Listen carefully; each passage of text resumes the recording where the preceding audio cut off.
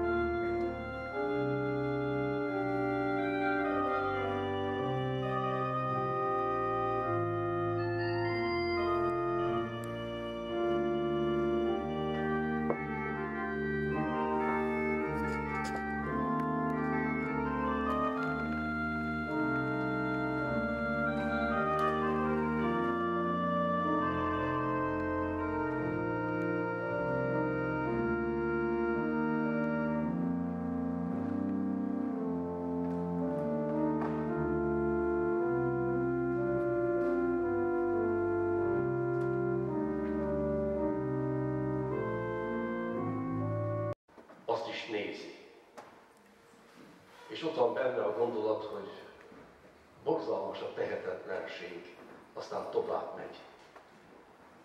És ezzel csak hoznak vele szembe egy halott ifjút egy gyászmenetben. Nap átéljétek. Nem csak, hogy velem az Isten, hanem Isten által élek és cselekszem én.